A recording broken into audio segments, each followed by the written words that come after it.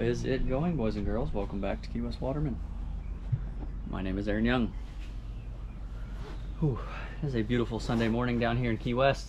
Um, it's actually my first day off in about a week. It's been kind of crazy around here lately. We've been doing some home projects and charters and keeping up with the business and all that stuff. You know how that goes. But um, I woke up this morning feeling kind of motivated. I was going to take the day off. Well, like in the office, just doing busy work. Um, but I woke up kind of motivated and I wanted to share a thought that kind of helped me get to where I am uh, today. In most scenarios, no one's going to hand you your dream life on a silver platter. You're not going to find a listing for it on, you know, a job search website. Um, and not all jobs have interviews or college uh, degree requirements. But with that being said, you can go out there and create your dream job uh, on your own in the world. You can create the position. Um, it is doable. I'm living proof of that. Um, I didn't find this life online looking for jobs. It just kind of something I always wanted to to do and be and live, and uh, kind of just went out there and did it. Took me a while, but it was worth every second. So that's the end of my speech. Um, as you can see behind me, we've got some great weather today. And again, I was going to stay inside and do some office work, but it's too nice out, so we're going to go out. I've got the little boat in the water. I'm gonna head out, nothing over the top. I just want to catch a couple fish to eat for this afternoon. Um, had a recipe I've been craving for quite some time, so I figured I'd bring you guys along, see if we can go catch a fish or two.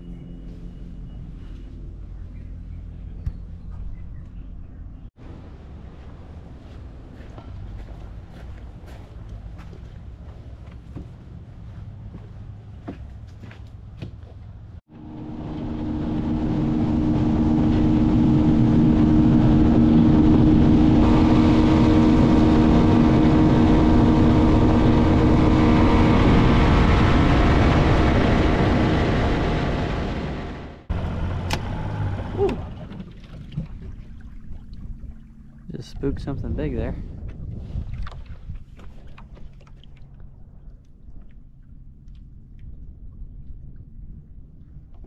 Love it. So I'm just, I'm right around the corner from the house. I didn't even go half a mile. And I don't need much, maybe a couple fish, so I'm just gonna throw some lures.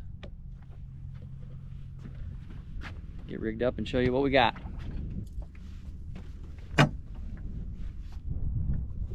Alrighty, I'm rigged up. So I'm just throwing a little lure called a twitching mullet. More than likely I'm gonna catch barracudas, but that's just fine. I've got some number two wire uh, to a 20 pound fluorocarbon leader, about six feet, and then my main line on the Saragosa 6000 is 15 pound mono. Um, I think I said it, fluor the leader's fluorocarbon. And this reel, or this rod is a, uh, a Trevala seven foot medium light. while I was rigging, I had some pretty big swirls up here too, so hopefully we get some action.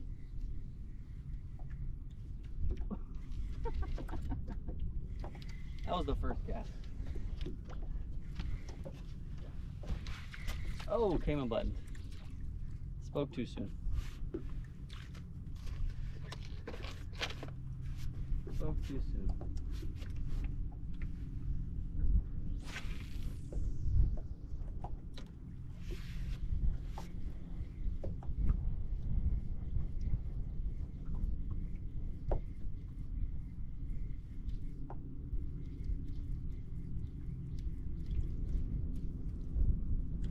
Luck, I suppose.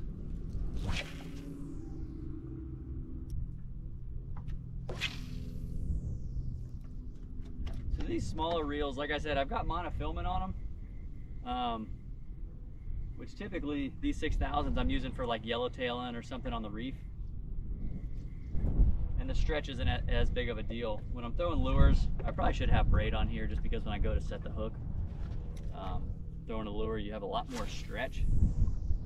Probably why I pulled the hook twice already, but it still gets the job done sometimes.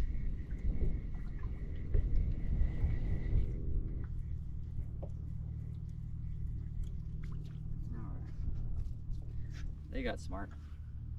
I'm gonna move down just a couple hundred feet.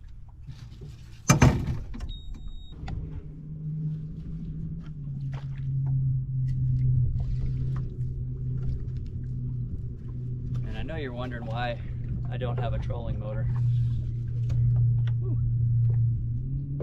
Truth is, I had one and it died. And uh, I'm actually having another one of these Gheenoes built but set up differently. It's just not ready yet, so I haven't replaced the trolling motor.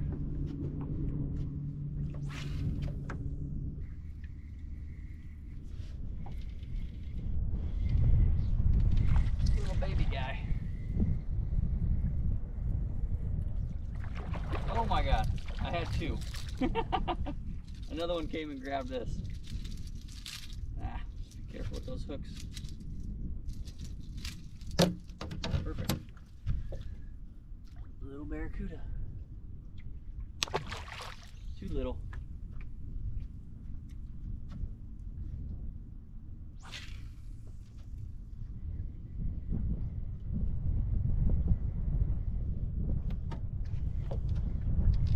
That one feels a little bit better. I can't tell. Nah, he's small.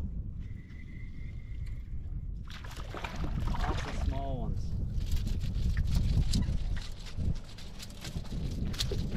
Need you to be like two or three more inches, buddy.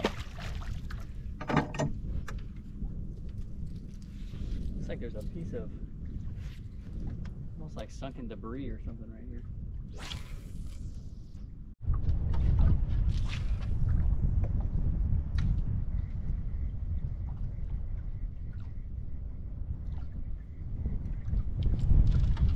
Oh. That one maybe. Ah, they're just all right there. He's close.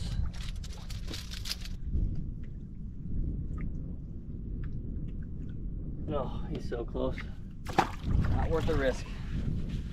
Not worth the risk.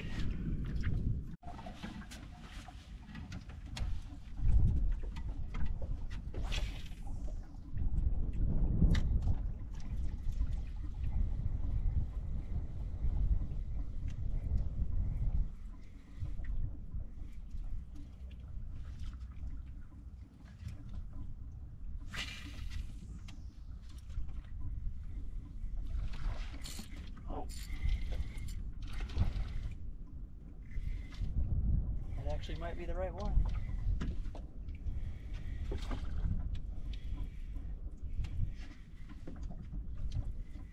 Oh my god.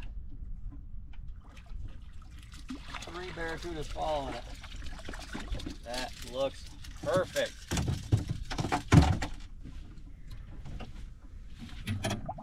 Double check.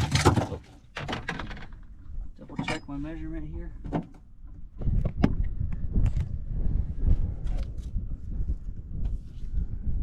Has to be 15 fork length. And a 16 fork length right there. Beautiful. So not a monster, but I've showed you guys eating these in the past. And I always get some kind of, oh, don't go in the water. Ah. I always get some kind of slack for it, but I promise you, I have no interest in eating something just for the sake of showing off. I wouldn't be eating them if I didn't enjoy it. So there's the brain method. It's a little different on every fish. For the most part, your brain on a fish is gonna be kind of behind a little bit and up from the eyes. And I normally come in at an angle like that, just makes it a little easier.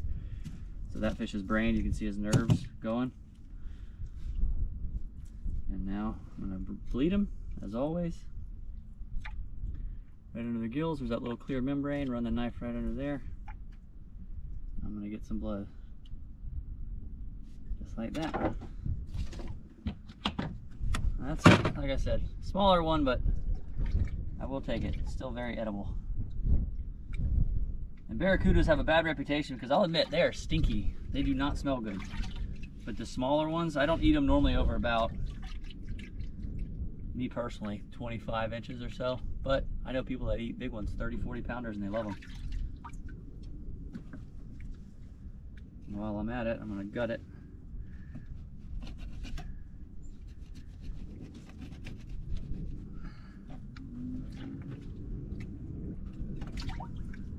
Give that back to the locals.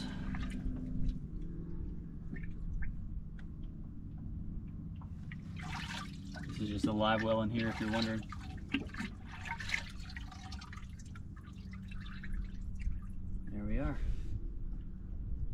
Bled and gutted. To the ice.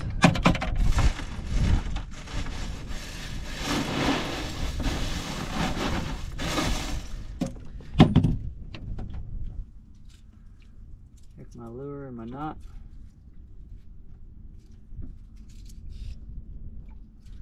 Get back to fishing.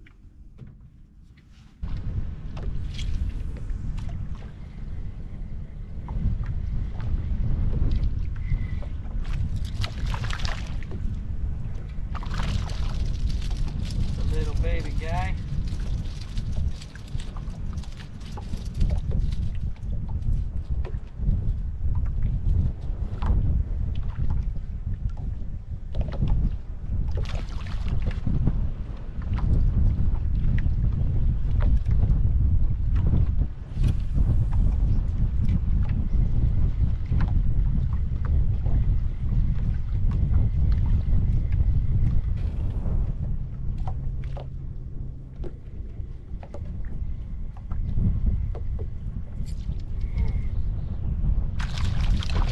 Boom.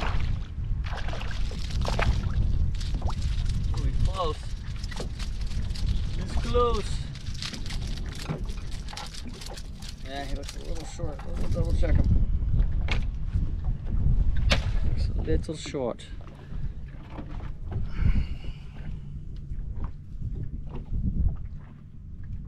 Fourteen and a half.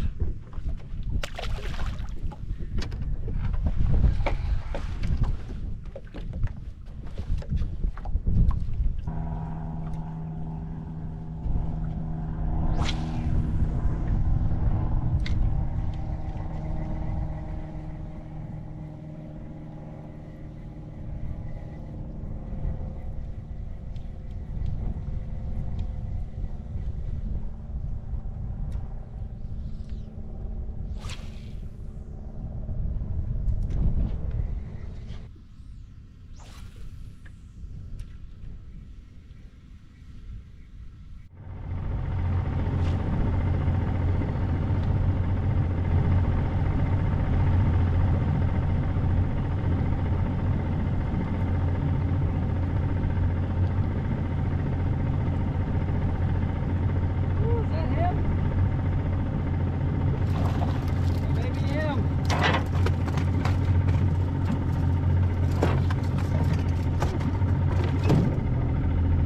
You Get out of the channel. Looks like we may have a boat coming.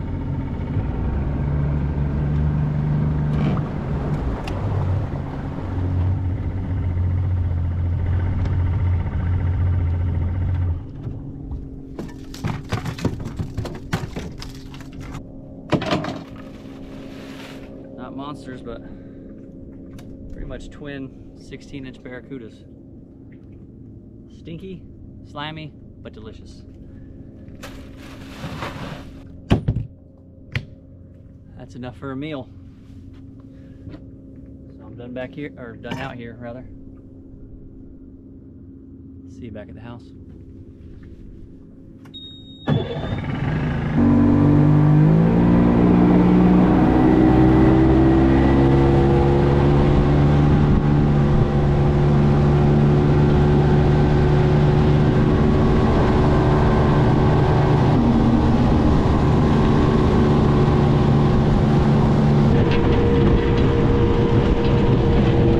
There goes paddle and paddle. Tipsy? So before we slice these up, I figured I'd give you a quick update on the yard. A lot of you guys have actually been making comments about it. We've been pretty heavy into home projects. We actually got a gutter installed to avoid all this sludge and mold and other gooey stuff up there. Um, and I don't know if you remember, but if you've watched older videos, you probably realize that the yard looks very different. Maybe I'll throw up some old photos, but we took all of the big giant rocks that were literally all the way to that fence, all the way up front. We, one by one, shoveled loads of them and we put it in the front yard and the driveway, refilled it. And we added nice little rocks that we can walk on barefoot. That Tuna enjoys. And Pearl. Tuna loves the grass. Pearl, what are you eating over there? And we added grass. And it looks magical. And it is a lot more pleasant than those big rocks. We've got a mango tree kicking. And you can also probably tell there, there are a lot more plants. Madeleine's birthday gift last month was a shopping spree at Mama's Garden, the local nursery, and it looks fantastic. She did a wonderful job. Chief Landscaping Engineer. I like that title. Yeah? Tina, you like the grass? We're homebodies, so we're trying to make it as pleasant as possible, but let's fillet some fish. So these are pretty straightforward. Like I said, these are on the smaller side. I'll eat them. I'll eat them to 20, 25 inches sometimes. Common question I always get is, do barracuda have ciguatera? And yes, they can have ciguatera, but it's fine. Um, they don't necessarily. A lot of fish can have ciguatera. I'm not an expert on it, but in my findings, it is just rolling the dice. I've heard people get it from yellowjack, grouper, dog snapper, schoolmasters, barracudas. I think most fish can have it.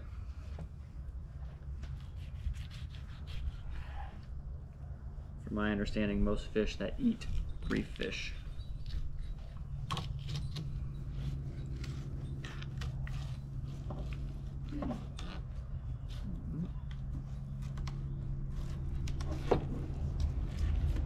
Goodness. Alright, so. We're actually going to make some fish burgers. It's been a while since we've done these.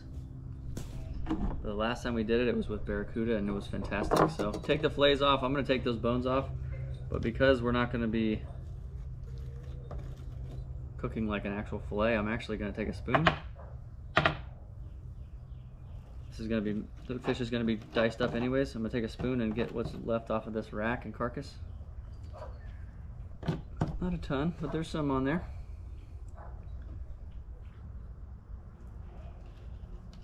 Uh, take these rib cages out.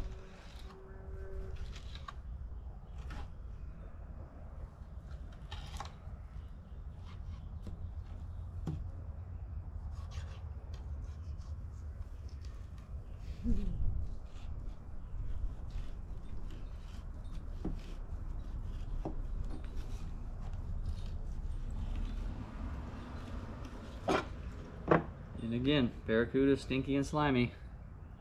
You can see how beautiful and white that meat is. There ain't nothing wrong with it. And something that's interesting on kudas. So this is the this is the tail, this is the head. There's another little bone and it's not a pin bone. There's another bone that's always at the tip right here. You'll feel it with your finger. I don't know what it is, but I haven't noticed it on another fish.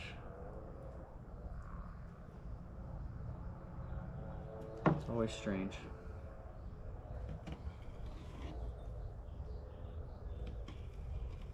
Get those pin bones out. And there we are. I'm gonna finish this up and we'll make some burgers.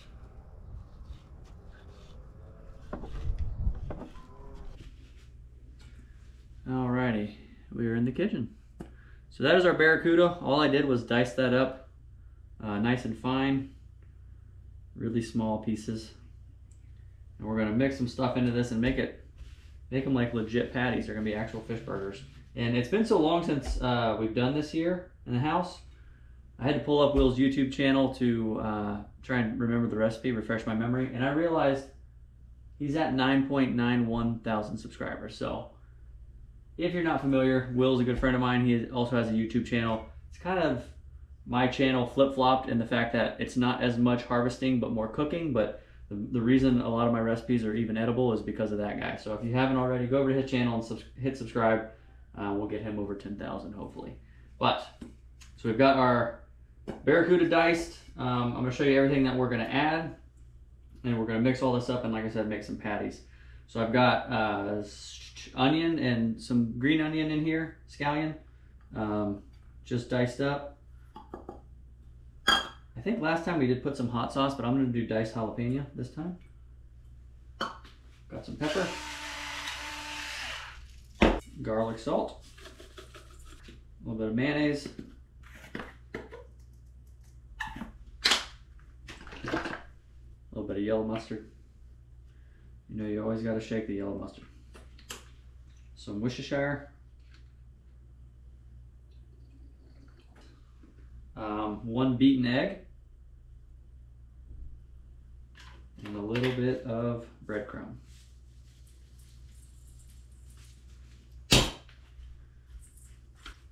Wow, that smells good. It smells really good. It's not even cooked yet and it smells good. So I'm just going by visuals here. Will normally does this. I'm gonna add a little more breadcrumb. All the mayo and mustard and egg and breadcrumb is, we're trying to make it nice and sticky so they'll actually stay together like tile grout. Thick. You know? Mm. That looks pretty good.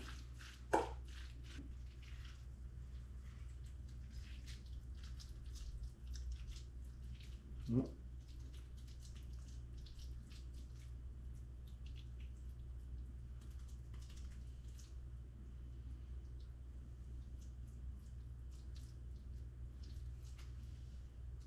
All right, that looks pretty good. All righty. Fish burgers. So Matt, cakes. Cuda cakes? Yes. Okay, Madeleine says Cuda cakes.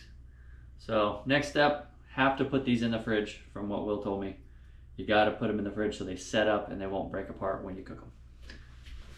I, ideally 30 minutes, at least.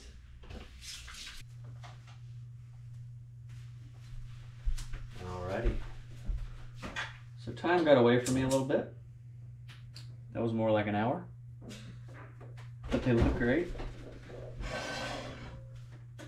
And I heated this pan up, but a little too much, so I let it cool down for just a second. Just a cast iron. I've got some olive oil in there. What you got over here, baby? I have lettuce, tomato, pepper jack cheese, and we don't really know what like condiment to put on it. So we have chipotle mayonnaise, regular mayonnaise, and ketchup. I don't think I can't remember if we even put anything on it last time. I time. feel like we had maybe an aioli. This should be good with an aioli. Remember we were eating it standing up in the backyard? And everyone was like, "You guys need a table." Yeah, that's true. it could be good with an aioli though. Let's see if these are gonna stick together. This is the real test. Flip, flip that over to me a little bit. Actually, I got it. I was, This is already, genius. I was already in motion. I know. It's hooked to the cabinet. I wish you guys could see this ingenuity here.